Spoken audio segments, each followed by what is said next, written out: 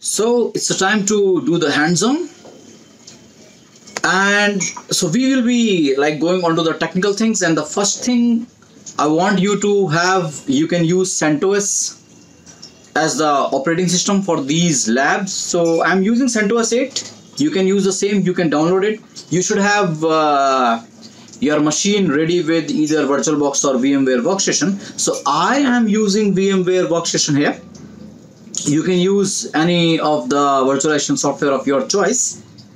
I will be creating three I have three machines which I'm just going to show you. My controller will be running CentOS 8 will have 3 GB of RAM 2 will be good enough no problem. It will have two LAN cards one will be connecting to the internet which is in the bridge mode and the another will be the host only to talk to the other nodes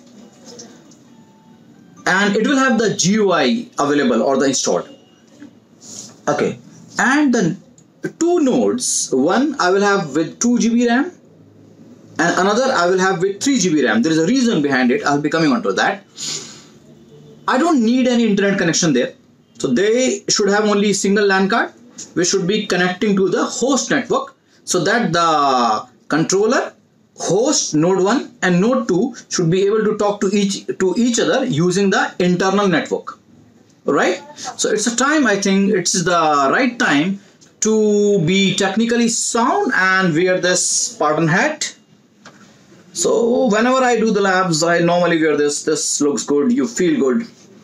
So guys let's start do the, the installation part. One more thing which you need is you need to be connected with the EPEL repository on the controller so that you'll be able to download the Ansible packages. That's all you need. So let's start it.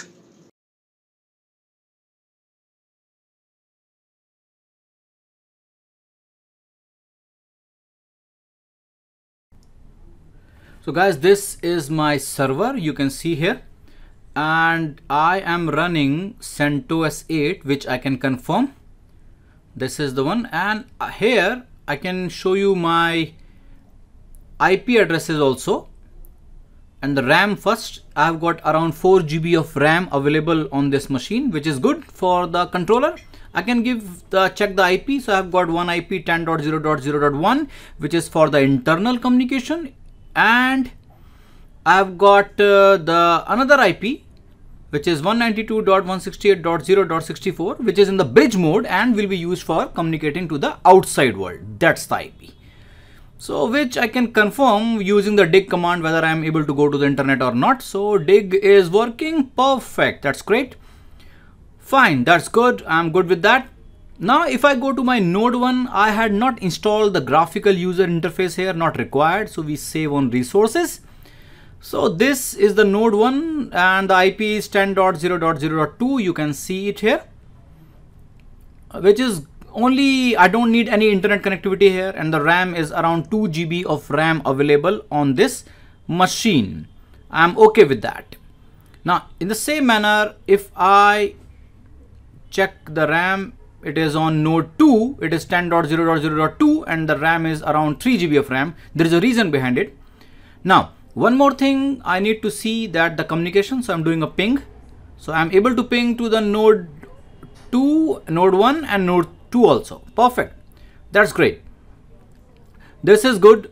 I'm okay with that. So the host name is node1 dot example.com and the other machine hostname is node2.example.com so i wanted to have the communication based on the names and I, I i don't have the dns so i'll be putting up an entry in the etc host file. So server.example.com and the nickname can be server or anything else 10.0.0.2 node1.example.com nickname is node1 and 10.0.0.3 node2.example.com yep and the name is node2 perfect.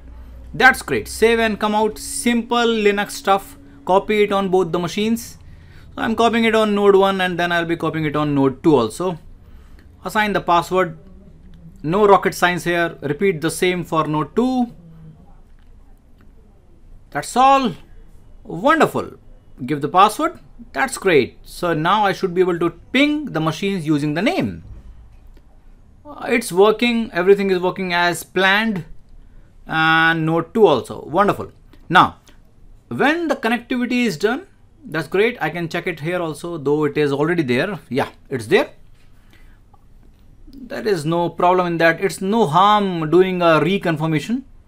Right I'm okay I'm good now if I go here on the server and will see that the connection like connectivity is done the only thing which I need is I need to have the EPEL repository configured because I need the Ansible packages so you can go to fedoraproject.org and get this URL. I am also getting it from the same website. So this EPEL extra packages for enterprise Linux is required. The repository is required to, to download the Ansible packages and that is the reason uh, I have uh, two uh, NICs configured here. So just take care of spellings. Mine is RHEL8 or CentOS 8 sorry and then the noarch.rpm yeah just right here just take care of the typos yeah that's have to be careful right we'll be checking the repositories and if everything is right i should be able to download the package wow wonderful that's all epel is there so i can confirm it after going into etc yum.repos.d the epel repository is coming up now the last step is I can just use yum install Ansible. That is how you install the Ansible controller. Might take some time. Need not to worry about that. Yep, just wait for a while. Perfect. Everything is working fine. Need to press yes and it is coming from EPEL Check it out. Just do a yes here. You are you are ready to go and the Ansible is installed. So let it install here. Let's wait. Obviously, I need to accept the keys. Let it install. Might take some time depending upon your internet speed. So Ansible 2.9.3 is what I am going to work with. Wonderful. It's being done. Confirm it by the command Ansible RPM query. Take care of spelling right you can also give ansible hyphen hyphen version to check it so the main config file the version is 2.9.3 and the main config file is etc ansible ansible.cfg that's the main configuration file for the ansible we will be learning a lot about it i need not to do anything on node 1 and node 2 as i had already told you it is a agent-less configuration management tool so that's the beauty of ansible nothing need to be installed on the agents or the remote servers. So all I need now is I need to have a key based authentication. So I will be generating my keys here on the server and will be sending my keys from the server to the node 1 and node 2.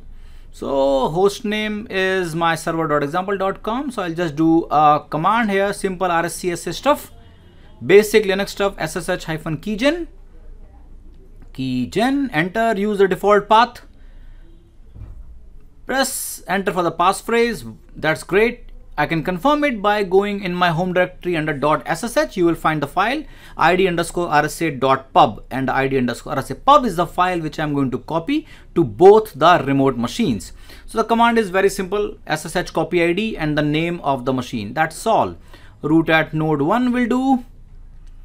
Obviously it will ask me for the password if when I'm doing it now but won't be asking me for the password subsequent times so giving the password here uh, repeat the same for node 2 simple stuff no rocket science. Perfect. That's great. Wonderful. So if I am able to do SSH to node 1 without the password that's great. Try it on node 2 also. Wonderful. This is done. So once this is done, my key based authentication is there. And the next thing what we are going to do is we are going to learn about the inventory files and the configuration files. So I'll see you in the next video. Bye bye. Take care. Godspeed.